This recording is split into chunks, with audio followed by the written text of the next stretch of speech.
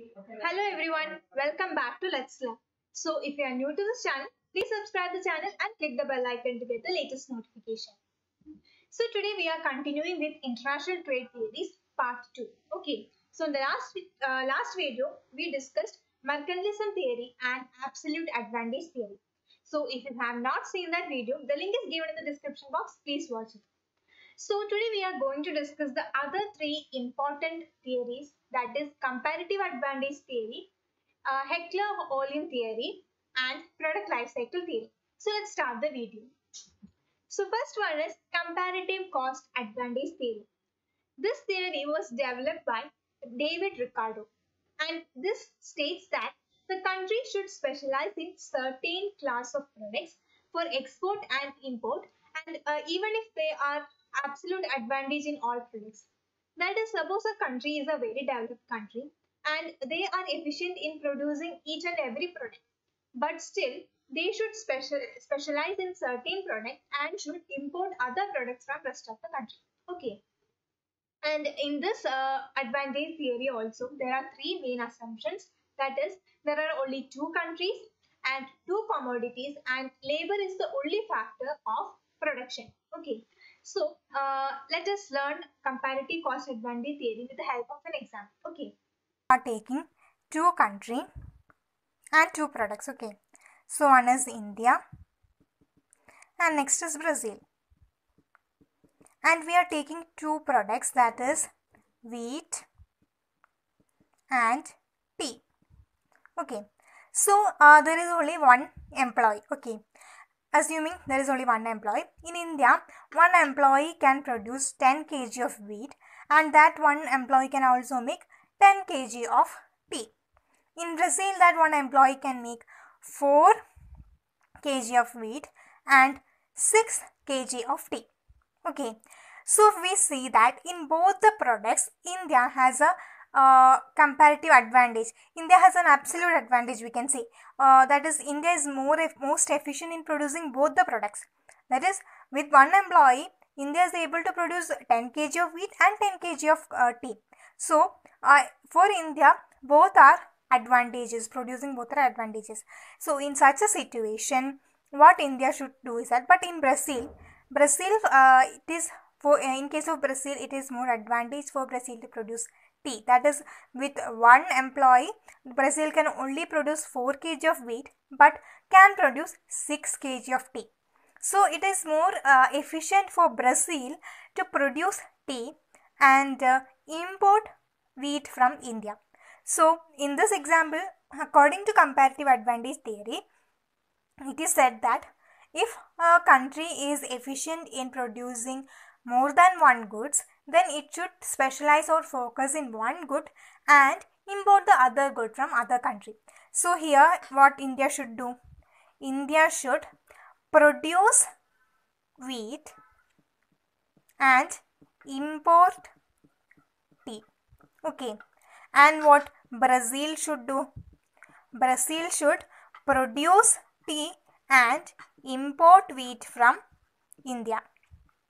Okay so this is comparative advantage theory where it states that if a country has an advantage in all the product they should specialize or focus on producing one product and should import the other product from other country okay so here India has advantage in producing wheat and also advantage in producing tea. But India is focusing on producing wheat and is importing tea from Brazil. So this is an example of comparative cost advantage theory. Hope it's clear to you all. So the next theory is Heckscher-Ohlin theory. Okay, this is also known as HO theory uh, and also uh, known as factor endowment theory. This was developed by two Swedish economists, Eli Heckscher and Bert, uh, Bertil Ohlin. Okay.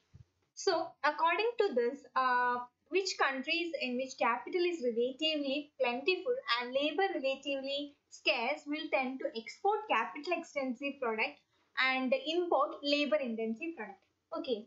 And uh, the countries in which labor is relatively plentiful and uh, capital is relatively scarce will tend to export labor intensive products and import capital intensive products. Okay. So what these two uh, economists said that uh, if a country is more of labor intensive, they will be exporting labor intensive product and importing capital intensive product.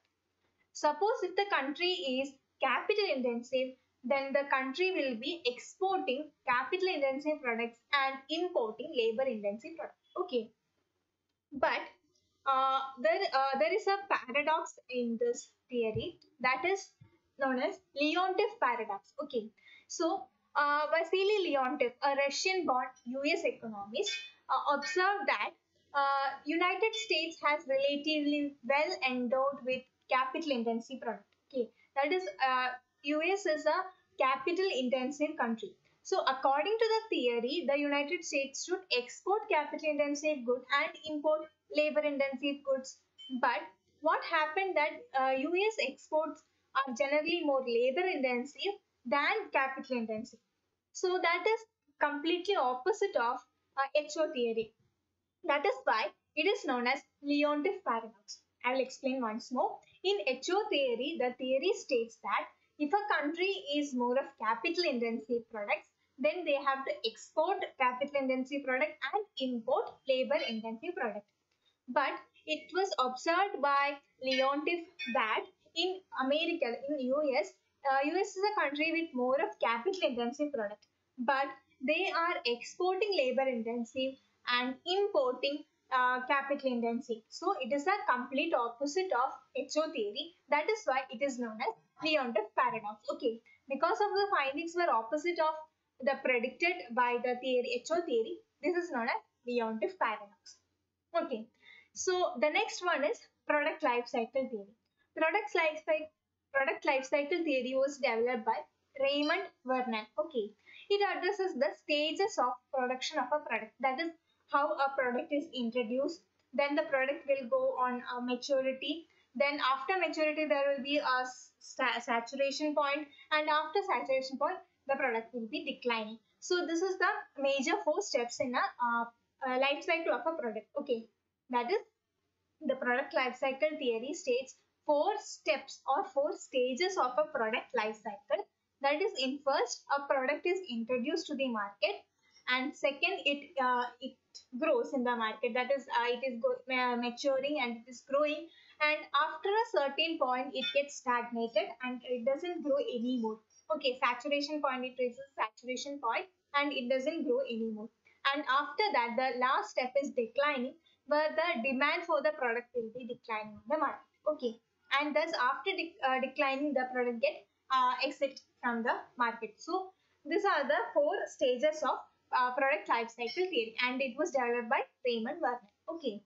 So to, today we discussed mainly uh, three uh, topics or three theories that is comparative cost advantage theory HO theory and product life cycle theory. So i hope uh, you all are clear with these three theories. So if you like the video, give it a big thumbs up and also share the video to all the common students you know. And please give your precious feedback under the comment section. And you can also suggest a topic on which you want a video in. And if you have not subscribed to the channel, please subscribe to Let's Learn and click the bell icon to get the latest notification as I'm uploading a video, commerce video on a daily basis. Okay, so for more commerce videos, keep watching Let's Learn. Thank you.